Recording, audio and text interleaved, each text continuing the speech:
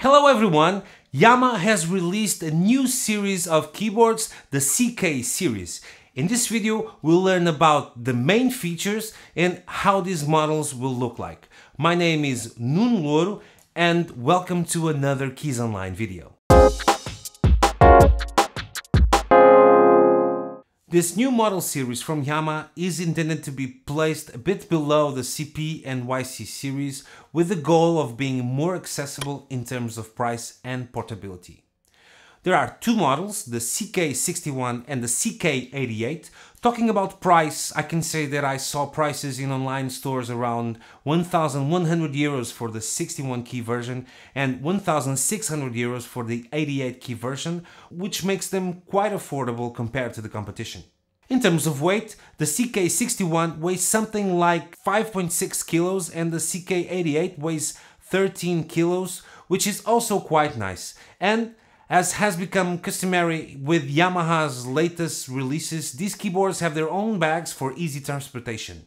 Also helping the portability statement is that these keyboards have built-in speakers and can run on batteries, which is a great bonus for playing literally anywhere. In terms of features that stand out, besides the speakers and batteries, we have audio input with gain control, Bluetooth audio, which allows us to play some backing tracks via Bluetooth, for example, and we have an integrated audio interface. Moving on to more features, we have a GHS keyboard in the 88 key version and the FSB keyboard for the 61 key version, which has been improved. We have the AWM2 sound engine, which is used in the CP and YC and Montage MODX with 363 voices and then we have the possibility of having 160 live sets as also happens on the CP and YC. The keyboard has a polyphony of 128 notes, has integrated effects and the master EQ. In terms of interface, we have a three-zone panel uh, in which uh, we have on one side, on the left, the controls for the organ with nine drawbars, vibrato, chorus control and percussion. Then in the central section, we have the selection of sounds and live sets, and this keyboard has three parts to which we can assign any type of sound to any of the parts. A bit like uh, it how the advanced mode works in the CP, but simpler in this case.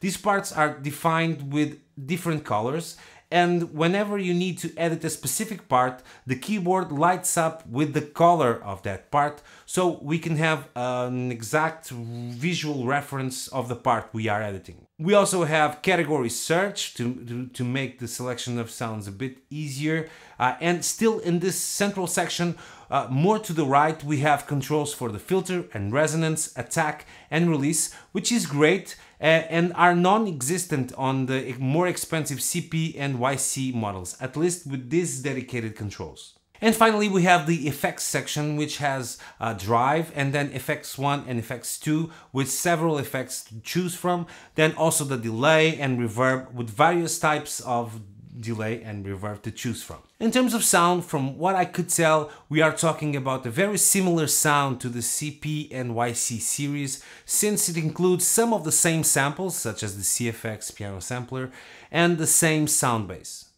Just note that this CK series doesn't have the VCM engine that we have and we can find on the YC.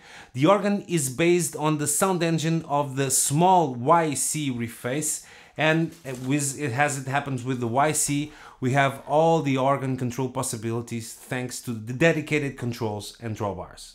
With this series, Yamaha completes its keyboard lineup and offers options for all tastes, wallets and backs. from the small reface to the YC and from the MX series to the Montage, there are many options. And this is where I close this video about this new product. I hope you have enjoyed this and the other videos on the channel.